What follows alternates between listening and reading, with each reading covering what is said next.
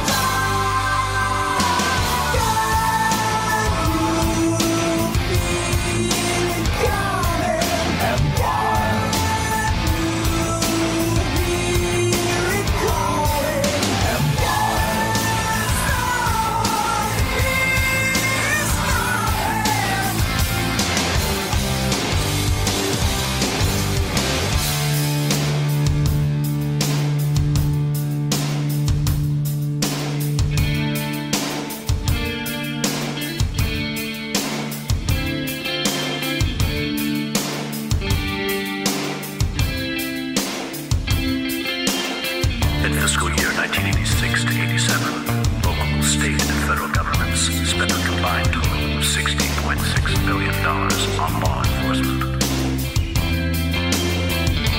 Federal law enforcement expenditures ranked last in absolute dollars and accounted for only 6% of all federal spending.